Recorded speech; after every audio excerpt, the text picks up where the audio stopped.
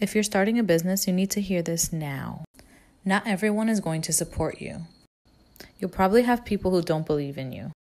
It's going to be hard, but you have to try and block out that negativity. Don't let the setbacks discourage you. Learn from them and move on. Be consistent, and before you know it, all